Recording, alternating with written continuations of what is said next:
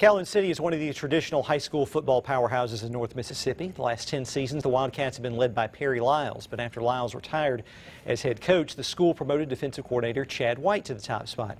White has been an assistant at several schools, and his head coaching debut will be August 23rd when Calhoun City visits Ashland.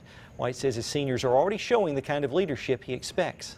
Our whole senior class has been great this summer. Um, really good attendance. If we had some kids that weren't coming, those seniors, the next day you would see them drive up in their truck or their car, and they'd have some of those younger kids with them. But our senior class has really been good, and you, you're usually as good as your seniors are. And those guys have really stepped up this summer.